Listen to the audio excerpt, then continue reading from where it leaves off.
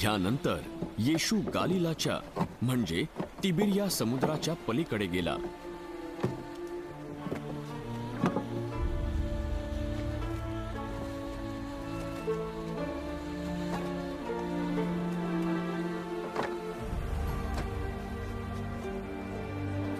तेव्हा मोठा जमाव त्याच्यामागे गेला कारण आजारी लोकांसाठी जी अद्भुते तो करत होता ती त्यांनी पाहिली होती.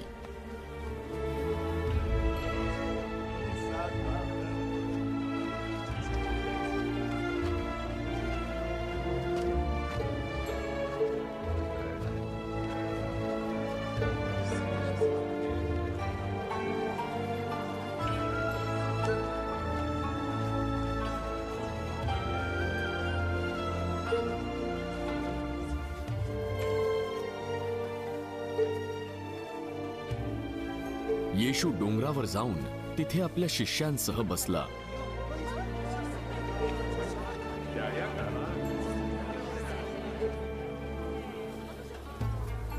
यहुद्यांचा वल्हांडण सण जवळ आला होता. तेव्हा येशूने पाहिले की त्याच्याकडे मोठा जमाव येत आहे.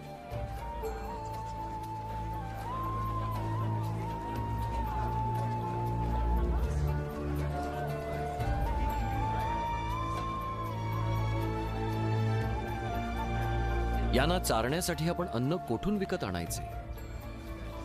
तो तर फिलिपाची परीक्षा पाहत होता. काय करायचे ते त्याला ठाऊक होते. यांच्यातील प्रत्येकाने थोडे अन्न घेतले तरी दोनशे रुपयांच्या दोनशे रुपयांच्या भाकरी पुरणार नाहीत. त्याच्या शिष्यांपैकी शिमोन पेत्राचा भाऊ आंद्रिया त्याला म्हणाला हा इथे एक लहान मुलगा आहे ज्याच्याजवळ जवळच्या पाच भाकऱ्या आणि दोन मासे आहेत.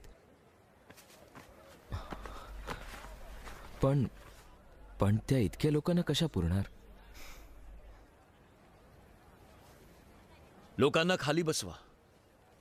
त्या ठिकाणी पुष्कळ गवत होते. तेव्हा तिथे जे सुमारे पाच हजार पुरुष होते ते बसले.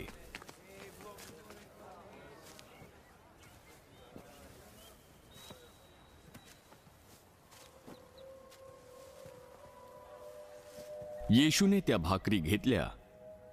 आणि देवाचे आभार मानले.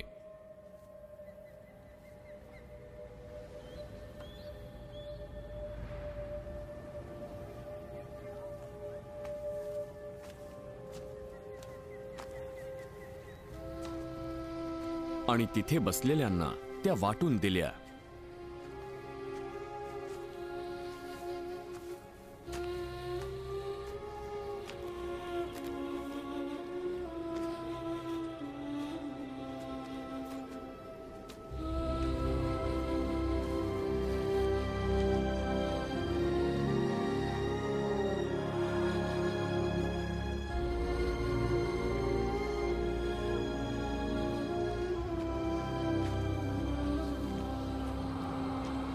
तसेच त्या माशांतूनही.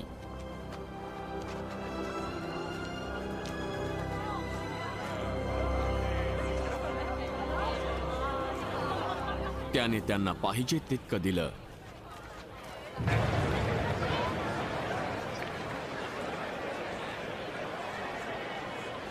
ते तृप्त झाल्यावर तो त्याच्या शिष्यांना म्हणाला उरलेले तुकडे गोळा करा. काही फुकट जाऊ देऊ नका. मग जेवणारे तृप्त झाल्यावर त्यांनी जवाच्या पाच भाकरींचे उरलेले तुकडे गोळा करून बारा टोपल्या भरल्या. तेव्हा येशूने केलेले हे अद्भुत कृत्य पाहून ती माणसं म्हणू लागली जगात जो संदेष्टा येणार आहे तो खरोखर हाच आहे. मग ते येऊन आपल्याला राजा करण्यासाठी बळजबरीने धरण्याच्या बेतात आहेत हे ओळखून येशू पुन्हा डोंगरावर एकटाच निघून गेला.